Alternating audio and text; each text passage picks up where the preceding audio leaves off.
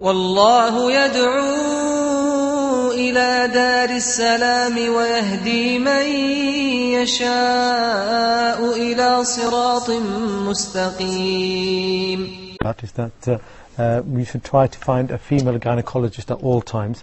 Uh, she said it's quite difficult in the country that I'm living in. Most of them are males. Um, we really can't find female gynecologists. What do we do? Uh, Do we have to stick with the males? Number one, the general ruling that there is something called awra that a woman should conceal even from another female, even if this female is her own mother, even if this female is her own daughter. And now we're talking about the private part, which is uh, the most uh, dangerous area when it comes to awra. We call it al-awra al-mughallada. It's very serious. So whether it's a male or a female, it is prohibited for any person to look at your awra except your spouse. Only your spouse. Then it would be permitted with conditions according to necessity. So if there is a necessity such as delivery, giving birth, and, uh, the need to, uh, to see a gynecologist, then the lightest is to have a female and a Muslim female gynecologist.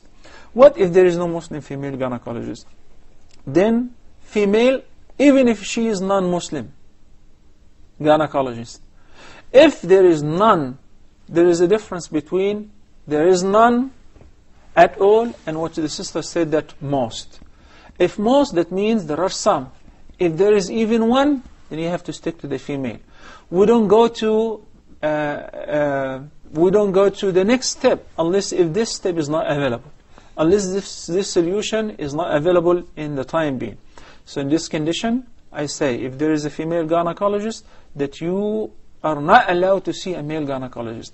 But if there is no female whatsoever, then with a limit and in the presence of your male mahram and with covering the entire body except for the part which needs to be checked on and in the presence of your male mahram whenever it is very necessary it becomes permissible